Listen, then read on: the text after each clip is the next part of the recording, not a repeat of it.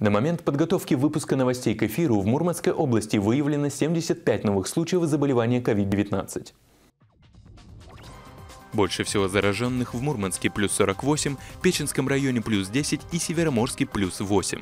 Если вы заболели или у вас подозрение на коронавирус, можно обратиться с вопросами не только по телефону горячей линии, но и написав сообщение на WhatsApp приемную. Этот канал связи начал работу два месяца назад.